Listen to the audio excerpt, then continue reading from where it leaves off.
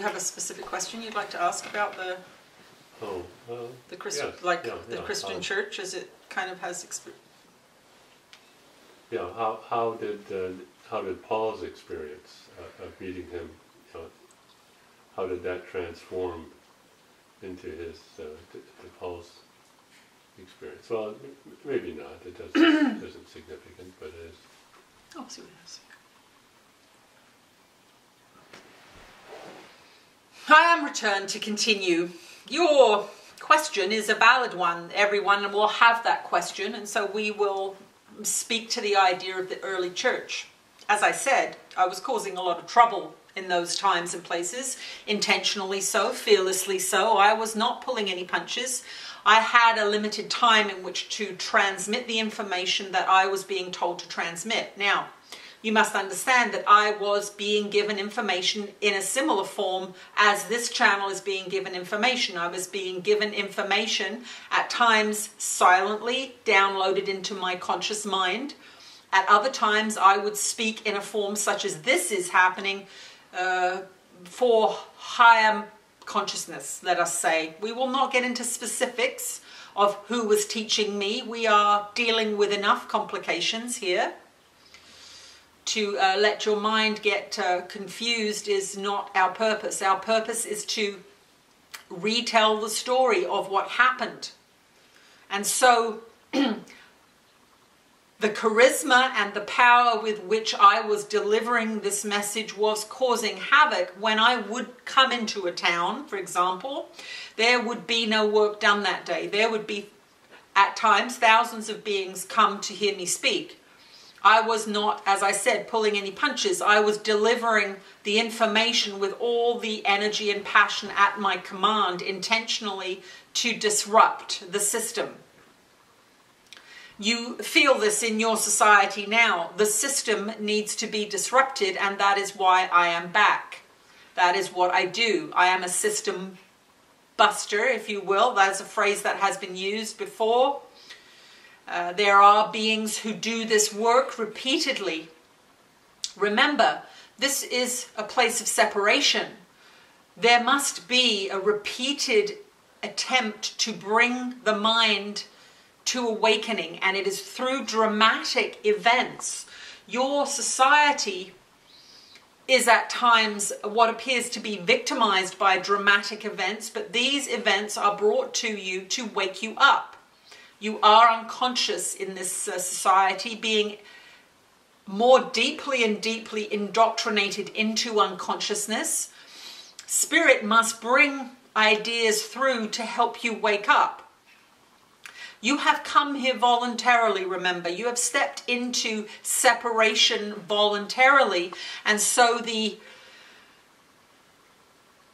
unseparated mind, the mind that knows the truth, will bring messages through to you in whatever form will work. We do not care. We do not uh, value life, body life, the way you do. We know that your body is not who you are, it is a demonstration of separation.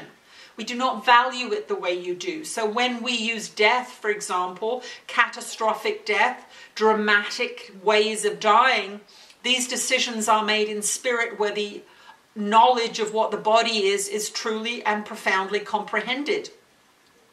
This uh, you must keep this in mind when you observe disasters, when you observe death, that these beings that are dying, first of all, are dying because they are unconscious.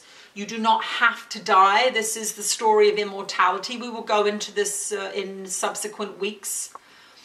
But your belief in death is what causes your experience of death. It is not a mandatory, mandatory process.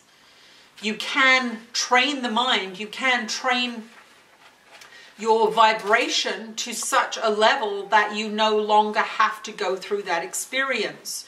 You can just leave your body whenever you choose.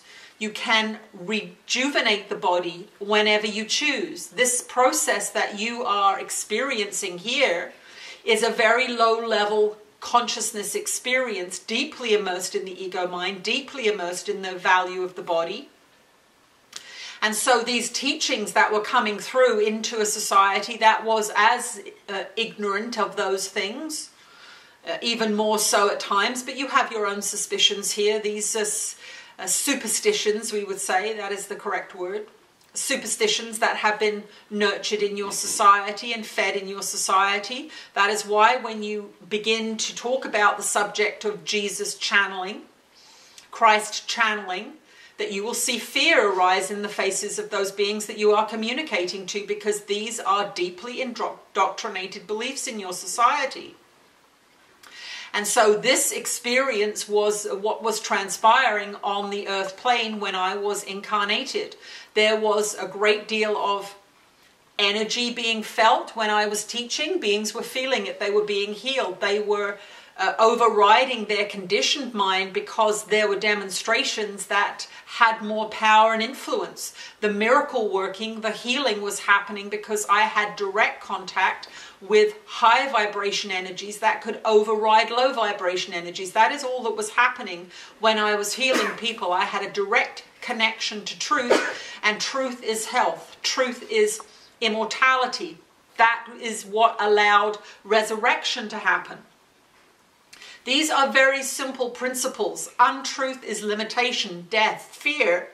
Truth is unlimited abundance, health, immortality. These are the two choices that you have in your thinking processes every single day that you experience your own consciousness. That is what you are doing. You are experiencing your own consciousness.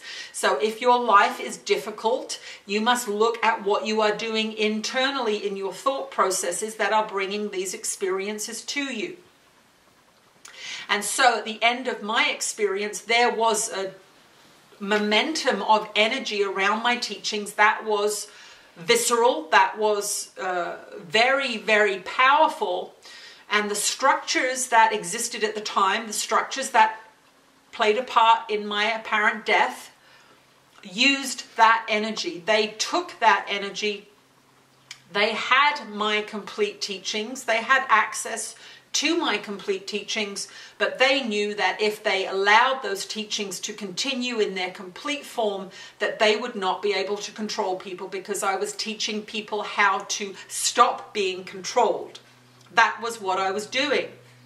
And so, very, very quickly, those powers that be, religious and political, decided to use the energy that I had generated in my ministry as a springboard to more power and influence. They took my teachings and only allowed certain ones to be uh, kept alive, so to speak. They kept alive the ones that would work in their favor. They destroyed the ones that would not work in their favor. Any messages about uh, self empowerment were deleted. Any messages about sexuality and tantra and that energy were deleted. Any uh, any, any teachings that empowered women were deleted. These were old patriarchal, controlling, repressive structures that could not tolerate those teachings being shared. And so they took it upon themselves to edit and produce material that could be distributed using the energy that I had generated during my ministry. And so that is what they did. They began to use what I had started to further their own political and religious aspirations. This was not a problem for me at the time. My experience was my experience. I was having a consciousness experience that was personal and visceral and uh, ecstatic. These consequences are just the ego mind, the separated mind's way of maintaining itself. That is what it does. The separated mind wants to be separated. That is the vibration of this earthly plane. Beings come in all the time from non physical, manifesting into lives, manifesting into experiences that are designed to bring truth through in an effort to wake you up. And they continue, they are endless, they are innumerable. They have happened throughout your apparent history. And I say the word apparent because your history is not as you have been taught, it is not the truth.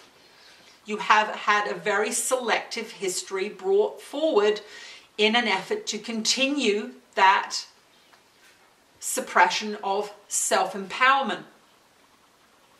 So you cannot look at your history clearly because you have been taught that it is true when it is not. You have been taught lies when they are. Uh, you have been taught that lies are true. And so when the truth comes to a mind that has been pervasively uh, infected with lies, the truth will appear to be a lie. The truth will make you uncomfortable. The truth will seem to be difficult. Because the mind is full of untruth, and this is why we are recommending the book A Course in Miracles, because this is a mind training program. So the early stages of the church were a training program to continue repression, to continue fear, to continue control, and they used whatever means they had at hand to do that. My association with the Christian church is a precarious one. I am not supporting the structures, the teachings, the cruelty, the repression, the judgment, the narrowness, the sexism. These are not things that I taught. I taught the opposite of those things. But I'm not attached to the world. The world is a dream world. It is a world that takes place in your mind. It is a world of fear and separation. I do not believe in the world. I have left the world, but I am come again and continue have continued to teach throughout your timeline in many different places in many different forms in many different what you call countries at times I teach in places where they have no idea who I am, and so I relax and uh, share my wisdom with beings on a one to one basis, sitting around a fire at night in a rural environment. They do not know who I am. They do not see the body that you see when you think of Jesus. They see uh, the body that I bring forth that suits the circumstances. I am not limited to the physical structure that you imagine I am because the body is not real. Your body is not real. It is an imagined concept in your mind. But because your mind is deluded, because your mind is confused, because your mind is untrained, you are unable to see the truth of that. But as you continue your education, as you begin to understand your mind, your emotional guidance system, these kinds of things, you will have a different experience of your body and you will stop being so attached to it. And so we will say to you that the experiences that you are having are perfect. You are here listening to these stories. You are being told to read certain books, to practice certain principles. You have a choice whether or not to do that or not. We will say to you if you are surviving in a way that you like, if you are at peace, if you are enjoying your life, then do not worry about it. If you do not want to change anything, keep doing what you are doing. We are not here to force your hand. We are not here to insist on anything. All we are doing is offering you the means to waking up. All we are doing is offering the means to reduce the suffering in your body mind. It is your choice. You are the creator. There is no one forcing you to do anything. There is nothing being done to you. You are doing it to yourself as I was doing it to myself. I had the experience of being an ordinary human in, a, in an ordinary body with desires and hungers and fears, just as you do, needs, apparent needs. But I was gifted with a connection to non physical that prevented me from remaining in the world and I was given the task of teaching that material. And I continue to do that work. I have always done that work. This is merely one aspect of my work. Do not mistake this as the only place that this is happening. This material is being brought through many, many different in in many, many different locations on this plane at this time because it is time now to shift the consciousness on a mass level. Why? Because you are seeing the consequences of the ego mind given full rein. You see what it is doing, you see the suffering, you feel the confusion, and you understand that the pendulum must begin to swing the other way, or you will not be able to continue your physical experience here. Because the physical experience that you are creating with the fears, with the ego mind, is not sustainable. It is not sustainable because you are taking power from a place that is limited in power. Your true power is connection to the divine. Your true power is understanding what you are, where you are, and how to function here. That is how you will maintain yourself beyond this small physical incarnation, limited body concept that, that you find yourselves in you can expand your consciousness and therefore expand your experience to realms that you are not at this level able to comprehend. That is all I did. I was given direct and unequivocal knowledge that I put into practice that had direct and measurable consequences. And it is a science. If you do these practices of forgiveness, if you stop judgment, if you turn to love whenever you have the opportunity in thought, word, or deed, you will begin to shift your consciousness from fear and separation to unity consciousness. It is a science. It is not a dispensation from a God who is patting you on the head for being good. That is not what is happening here.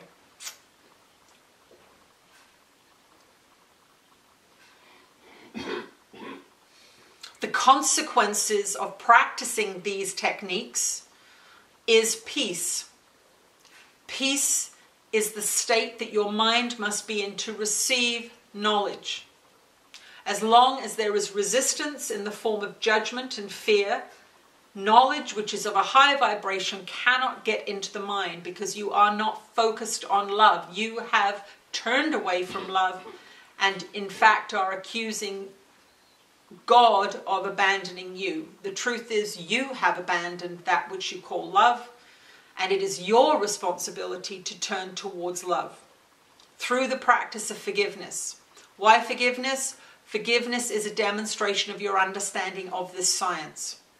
That you are not separate, that you are experiencing your own consciousness, and that the consciousness of the ego is low and judgment filled, separation inducing and that higher consciousness, love, oneness, is based on unity consciousness, and forgiveness demonstrates your understanding of these two basic principles.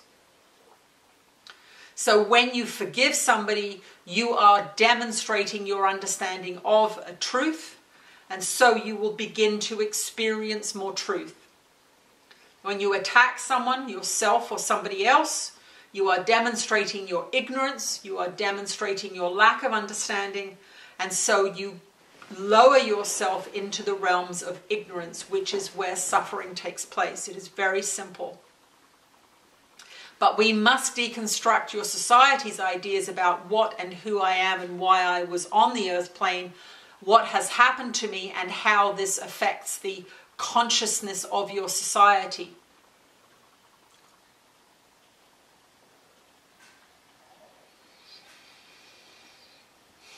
The teachings have continued throughout the timeline that you see as your history. I am able to manifest physically. I do not do it in this particular time place because of the danger of your current system. You feel it when you venture into this realm, you feel it when you imagine doing this job that this channel is doing and yet this is the job that she has accepted as her purpose on this journey this time around. Not the first time, as we have said. But to manifest in a physical structure and say that I am that being would be very short lived in your society at this time. There is no tolerance for it in that form. There is tolerance for it in this form. There is a need to see consciousness manifesting in a different way, this helps the mind expand. It helps the mind shift into a place of, ah, there is something else going on here. This being, this ordinary body mind, does not speak this way. This ordinary body mind does not have access to this information in this form. And so when you witness this experience, your mind expands. We will use whatever devices we can to expand the mind into new realms. We do many, many different things on this plane to help you expand your mind, but we must do it in a way that allows you to maintain stability in the mind, that does not induce psychotic breaks, that does not induce fear to such a degree that you become paralyzed by it. Even inducing a little bit of fear does not serve the purpose of learning. The mind shuts down, the body wants to run, you want to protect yourself.